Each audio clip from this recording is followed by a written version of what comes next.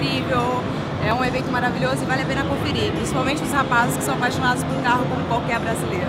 Ver é carros lindos, lindos, carros maravilhosos, é, cheios de cavalos. um beijo.